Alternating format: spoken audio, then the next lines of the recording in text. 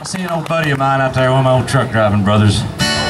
He's not a big country music fan, but they show up occasionally where we're at.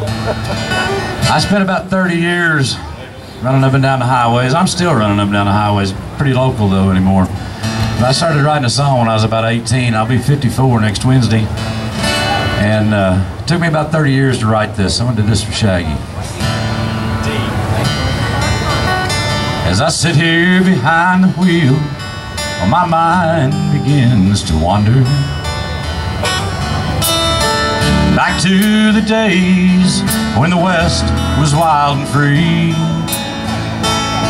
I see the image of a cowboy riding lead on a herd. Lord, I wish that that cowboy was me.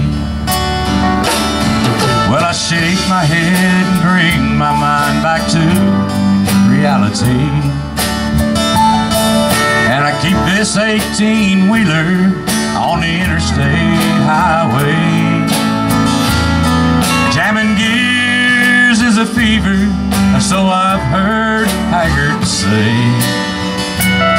I'm just a modern day cowboy, I'll be a cowboy to my dying day. 500 horses and 18 forward gears.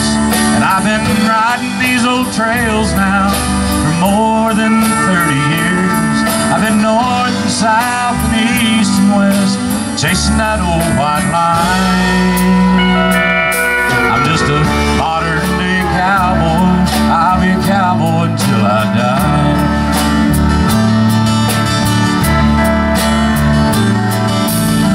Well, the days of the Wild West have passed us by. The cabin of this old Peterbilt, well, that's where I call home. Living like a gypsy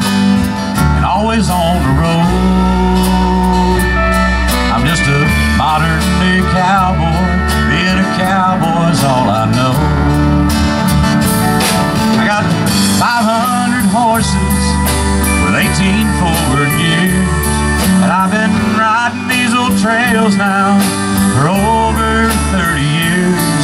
I've been north and south and east and west, chasing an old white line.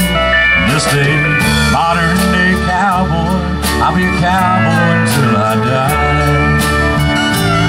I'm just a modern day cowboy I'll be a cowboy